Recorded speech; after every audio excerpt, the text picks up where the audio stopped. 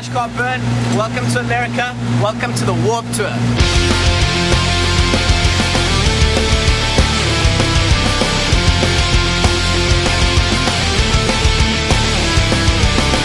We set a course for the North Star, wherever that may be.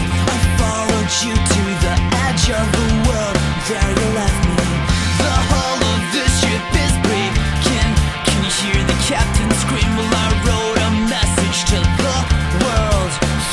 it. Is 15 minutes after our first ever Warped show. It is fucking ridiculously hot.